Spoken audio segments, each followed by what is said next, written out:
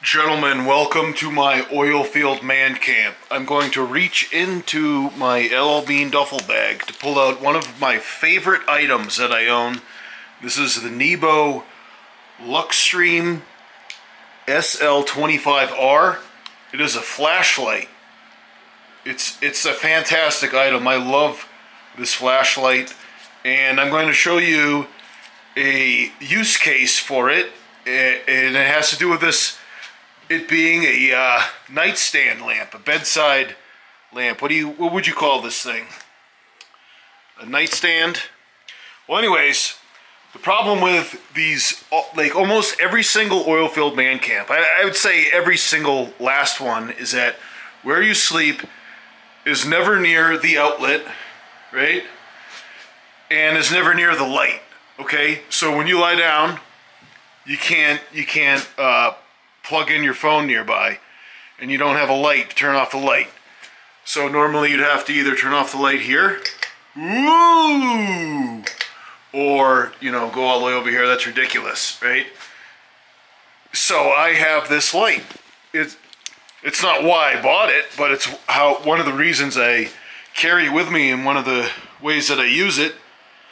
And it has battery indicator and below that it has a selector for off, red, flood, or spot.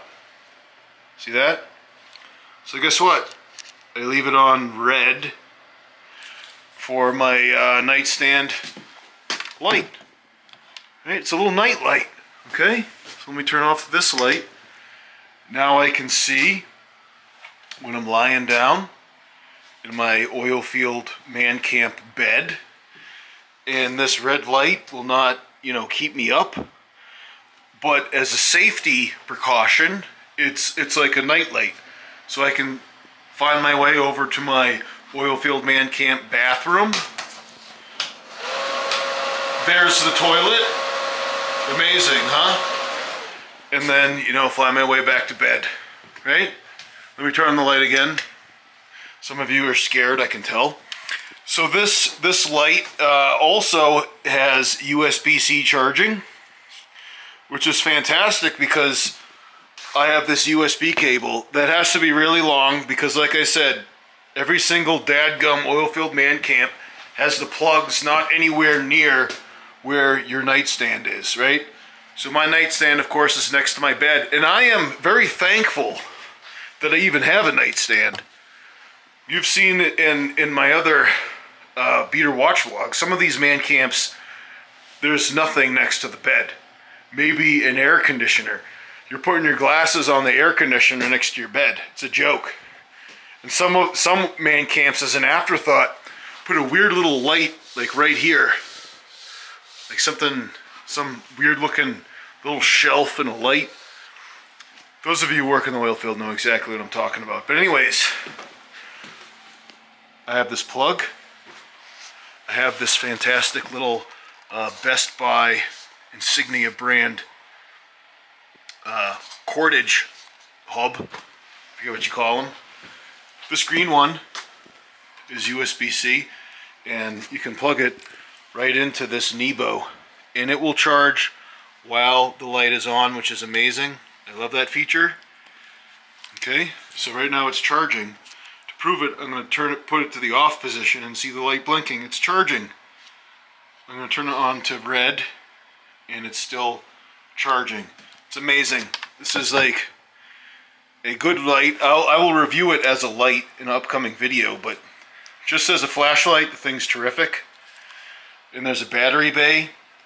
One battery is active in that bay, and, and there's another chamber in there for a backup battery. There's a pocket or a uh, belt clip like you'd have on a Milwaukee. And uh, I have this lanyard on here. The reason I have the lanyard on, it's kind of annoying, but I this is the second one I got.